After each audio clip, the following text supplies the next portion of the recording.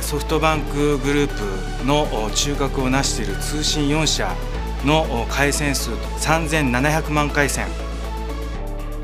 また iPhone や iPad などをですね日本でいち早く提供したのがソフトバンク。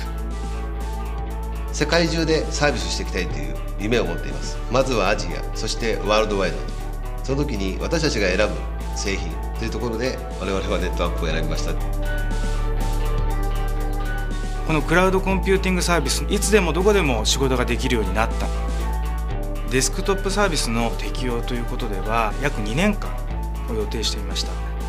それが結果としては1年間での導入ということになったんです。